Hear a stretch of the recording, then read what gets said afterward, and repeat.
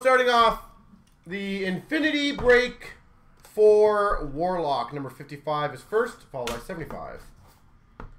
Not too bad. We've got an SP Essentials autograph to 99. Artemi Panarin. Essentials auto to 99, Panarin. Most definitely a box hit in uh, in SP Authentic and probably a secondary case hit. And that's pretty sexy.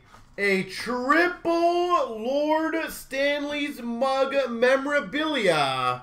I believe this was number to nine of Dickie Moore, Doug Harvey, and Maurice the Rocket Richard.